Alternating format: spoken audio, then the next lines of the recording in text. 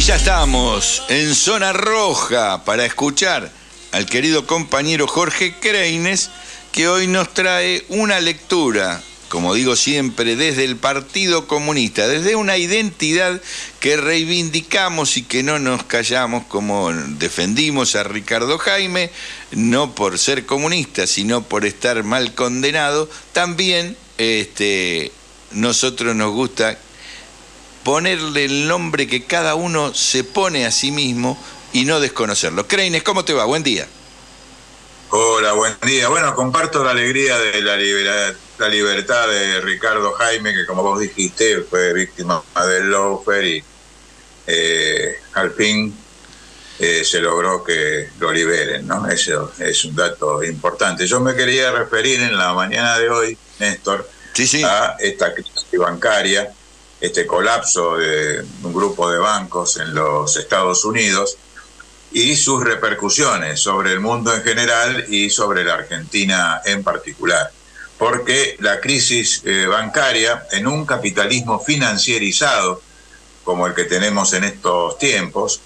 quiero decir que capitalismo financierizado significa que el motor de la economía del capitalismo global actual es este, el sistema financiero. Eh, ya hemos visto muy habitualmente gente que deja de producir y pone la plata a interés y consigue mejores beneficios, de trabajando, teniendo empleados y demás.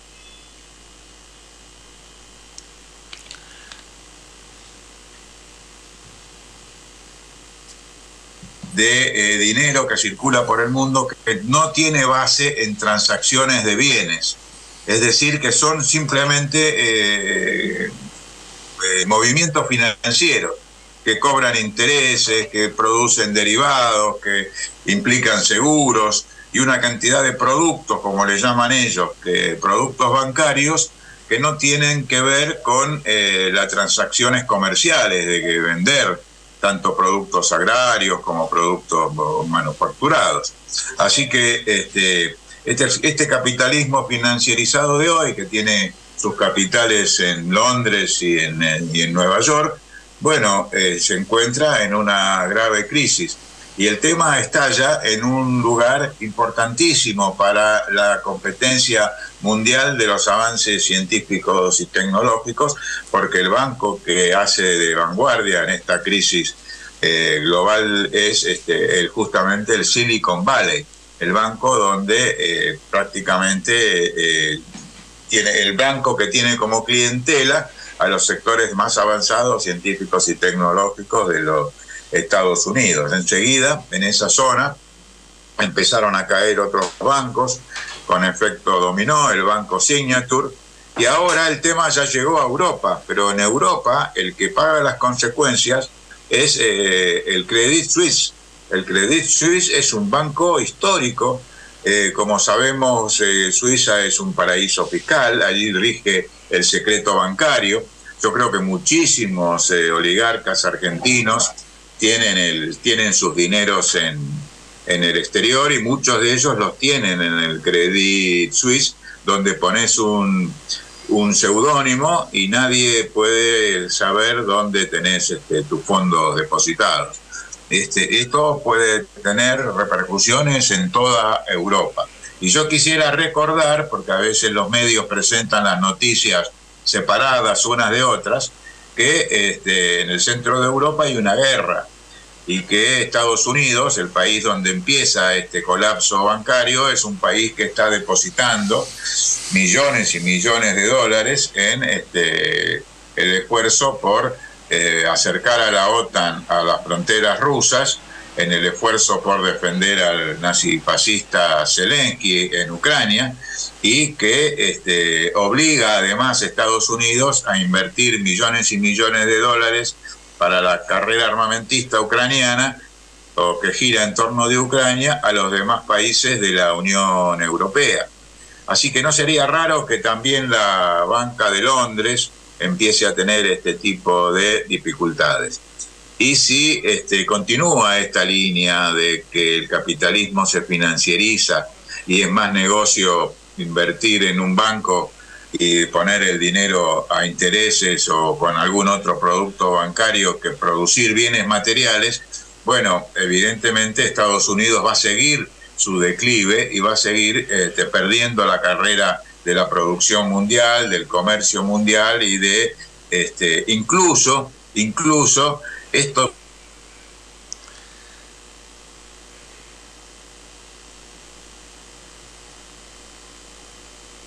Ahí está. Como están trabajando muchos países en, los, en el grupo de los BRICS, en la Organización de Cooperación de Shanghái y en otras instancias donde se va sumando la India, Rusia, incluso Arabia Saudí, increíble, Arabia Saudí se está sumando a estos procesos porque lógicamente ellos defienden el precio internacional del barril de petróleo y ante la financiarización las petroleras también buscan sus intereses. Así que eh, eh, estamos en un mundo cambiante, mucho más rápido de lo que esperábamos. No tenemos la caída del imperio a la vuelta de la esquina, eso tiene que estar claro, pero Argentina debiera aprovechar esta circunstancia, por ejemplo, para ponerse un poco más firme, o no un poco, bastante más firme, frente al Fondo Monetario Internacional, porque se arguye en el argumento de la guerra, que perjudica a todos los países, por lo tanto el fondo tendría que ablandar sus exigencias, pero ahora vamos a agregar el colapso financiero internacional. Este, tuvimos la pandemia, donde las respuestas fueron muy distintas en los países que tienen una salud pública estatal fuerte, consolidada, que en los países donde la salud pública es privada, como es el caso de los Estados Unidos, donde tuvieron que recurrir a las fosas comunes, donde tuvieron crisis de cementerios, crisis de hospitales y crisis de eh, morgues eh, por la el tremendo fracaso del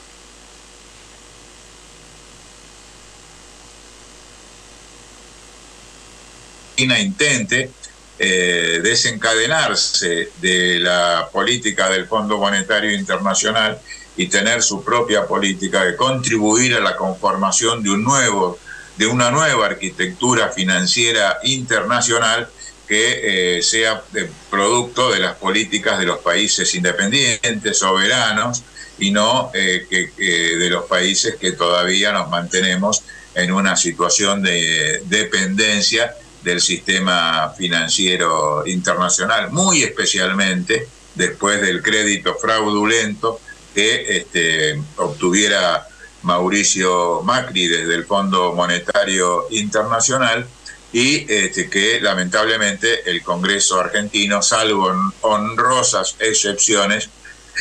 que queremos valorar este, ha ratificado. Es decir, eh, se ha ratificado un fraude escandaloso, antipopular, antinacional, que perjudica notablemente y condiciona todo. La inflación que sufrimos todos los días, los aumentos de los precios, la pérdida de valor adquisitivo del salario, tienen que ver también con ese crédito con el Fondo Monetario Internacional. De manera que eh, quería hacer este señalamiento eh, me parece que esto va a ir en la dirección de, eh, eh, de una aproximación a la derrota política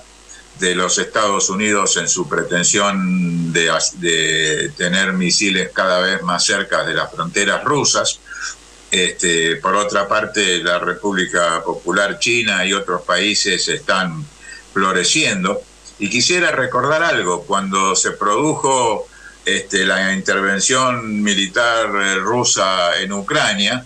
eh, empezaron a llover las sanciones contra Rusia. Y desde Washington y desde Nueva York, también desde Londres, decían que eso era para poner en crisis a la economía rusa y para poner en crisis a, a las finanzas rusas. Bueno, parece que la crisis de las finanzas no explota en Rusia particularmente, sino que explota muy eh, destacadamente en los mismísimos Estados Unidos y en el Silicon Valley. Es decir, que, este, bueno, toda esta situación debiera ayudar a que eh, eh, en Argentina se comprenda mejor que hace falta una lectura correcta del mundo, de la situación internacional, de por dónde están las crisis, para no permanecer eh, ligados al mandato de Washington y de Londres, que son de paso nuestros enemigos en las Islas Malvinas, sino que necesitamos una política soberana, independiente y también en lo financiero esto este, tiene que ser así. Tenemos que tener soberanía eh, territorial, soberanía política, soberanía popular, pero también tener soberanía financiera, soberanía económica y necesitamos este, este, esta línea de acción para empezar a pensar en un país libre, soberano, independiente, que decida por sí mismo el futuro de, de la actual población y de las futuras generaciones. Yo creo que es muy claro lo que vos planteás y este relacionamiento que hiciste en breves minutos, este,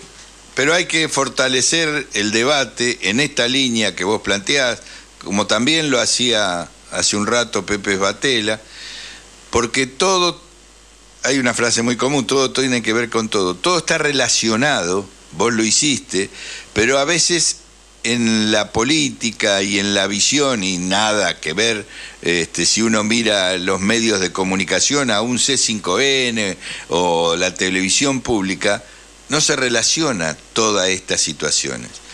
Eh, a veces por desconocimiento.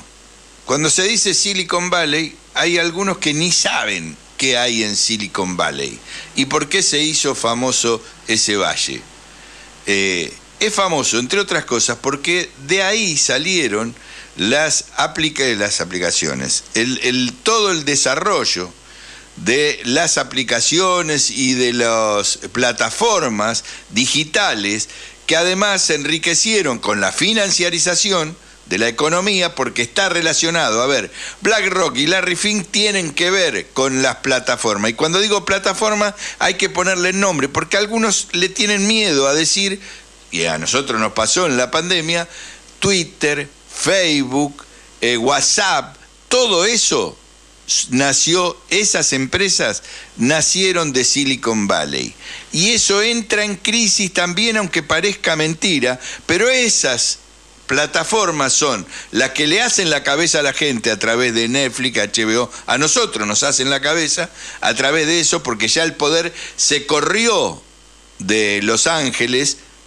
a este lugar de las plataformas, que ya tampoco tienen un lugar donde establecerse fijo, sino que pueden manejar la cabeza del mundo con una misma ideología. Digo, todo esto está relacionado y en la Argentina,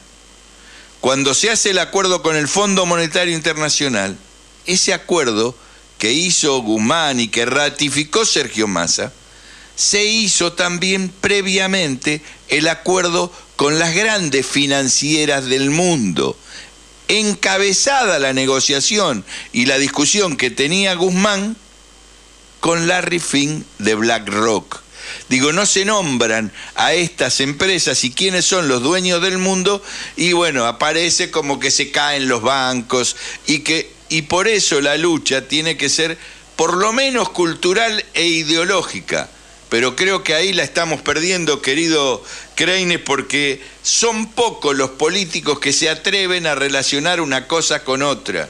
Y esto es una deuda y un deber que tenemos aquellos que abrazamos ideologías revolucionarias para plantearlo a la gente. Es la vida de todos los días. Las que están eh, cayendo es un sistema capitalista. Claro, no vino el socialismo no lo están haciendo las masas trabajadoras porque son masas de desocupados, pero sí aquellos países como China o Rusia o la India que defienden su soberanía, no con el viejo planteo del socialismo, si se quiere, eh, ortodoxo, pero sí aplicando teorías que tienen que ver con la lucha contra el imperialismo que hoy trabaja con la financiarización como herramienta fundamental y a nosotros en la Argentina nos tienen agarrados. Y en tanto los políticos no se atrevan a decir estas cosas, como dice Jorge, es muy difícil porque la gente no termina entendiendo y vamos a tener, terminar votando o puede llegar a ganar justamente los que producen esos acuerdos con el Fondo Monetario, con la financiarización de la economía, que entregan empresas, que entregan ríos y que entregan el mar. Digo, me fui, este, pero me sentí provocado y convocado por tu intervención, Jorge, adelante. Tu cierre. Hubo un pequeño cortés. Ahí, ahí te pedía tu cierre, Jorge.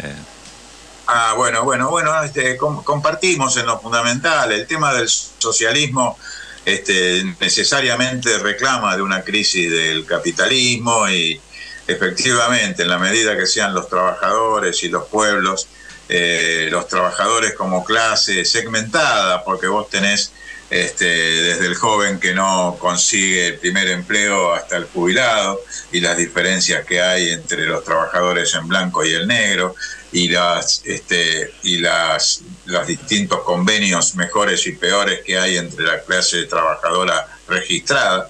Así que este pero ellos poco a poco van a ir tomando porque hay que volver a un mundo donde se produzcan bienes materiales para terminar con el hambre con la miseria para terminar, hacen falta bienes materiales, cuidar el medio ambiente y este, hay que pensar la política en términos de varias décadas hacia adelante y no solamente ver cómo zafamos estos días o cómo llegamos mejor al momento electoral. Y, en el, y para el momento electoral hay que tomar un conjunto de medidas imprescindibles desde el gobierno para no perder las elecciones y que no regrese el macrismo acompañado de Milley, de Bullrich y compañía. Así que bueno, estas son nuestras ideas este, del Partido Comunista para la mañana de hoy y nos despedimos de ustedes con un abrazo muy grande, Néstor y toda la audiencia de la AM 740. Jorge Creines, eh, Zona Roja, del Partido Comunista, pasó en esta mañana por Radio Rebelde en Salir por Arriba. Un abrazo y hasta la semana que viene o hasta cualquier momento, Jorge. Hasta la victoria siempre. ah, qué lindo. Vamos con eso. Chao.